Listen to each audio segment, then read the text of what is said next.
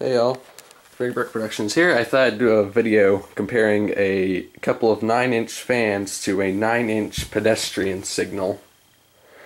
Yes, this is a full-size 9-inch pedestrian signal that I own.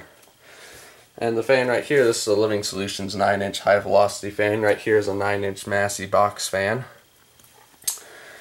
All three of these work. The pedestrian signal, as you can see, works. It's actually currently cycling.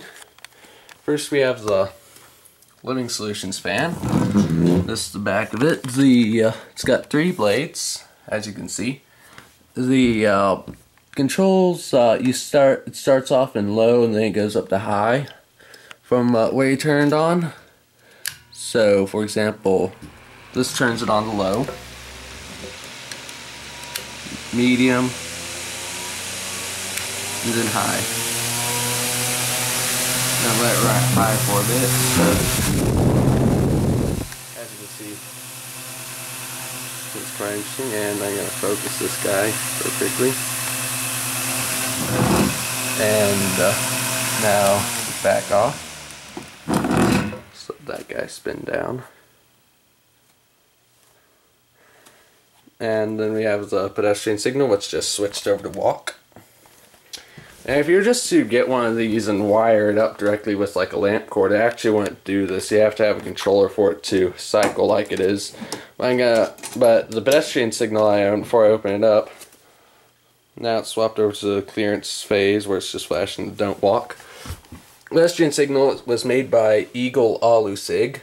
This is technically Eagle brand, but it was under the ownership of Gulf, the Gulf and Western Company who branded Eagle into two different companies, one of which was called uh, Durasig, which made polycarbonate signals, which are essentially plastic, like this fan right here. And the other was called Alusig, which made aluminum signals. And right there you can see the Eagle Thunderbird logo. Not very well because the lighting is not the best. And right down here is the Alusig label. And then it's got the same thing on the bottom. And the difference between the 8 inch and Durasigs and Alusigs is that the 8 inch Alusigs have a little bump along each side, whereas the 8 inch Durasigs don't. 12 inch Alusigs and Durasigs have some differences too, but I won't get into those here. But I'm going to open up the signal quickly. So, I think I think this cleared. I'll see if it does. If it doesn't, then I can just move the Living Solutions fan out of the way. Open up the thumb screws. Oh, dang it, this one. There we go. Yep, it clears it. Right here's the inside the signal. As you, if you were to wire it directly up, you'd. No, this is probably how it'd be wired up in the field. With the exception of these wires up here, which are the which go up to the controller, which is what's making it cycle to T2 from lights to go. There's the terminal block. You'd have three leads going in, of course, and then you'd have the three leads going out. And then right over here is how you how the maintainers for a yeah pedestrian signal for these for and all the pedestrian signals access the bulb. And sorry about this, I did not expect it to go to the clearance right when I pulled out the bulb. But it's a lunar white bulb. So it's got a blue tint, well purple tint when it's off. And this design for the yeah, uh, bulb mounting was also used on the first generation Durasig signals which had door mounted reflectors like this.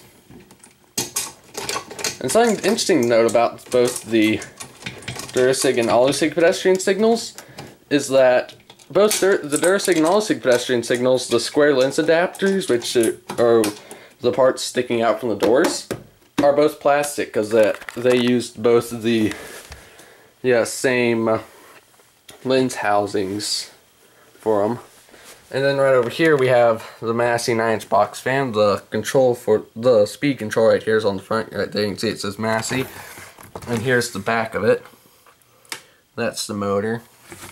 This guy's got an all plastic frame. I think the blades are plastic too. I haven't opened it up to see. The only probably the only parts of this aren't plastic are the wiring and motor. But here's, but it's got a similar speed set up to the Living Solutions 9 inch fan. This is low. This is medium.